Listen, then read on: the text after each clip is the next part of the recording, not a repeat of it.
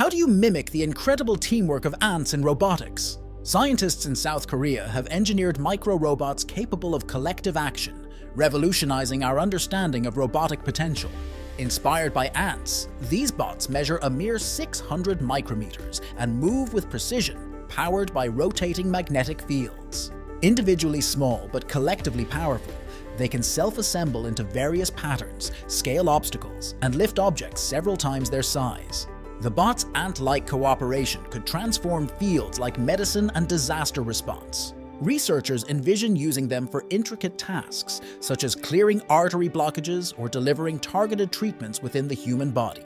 Their adaptability also shows promise for navigating harsh environments, aiding in search and rescue missions. While current prototypes require external magnetic guidance, advancements are pushing towards autonomous operation.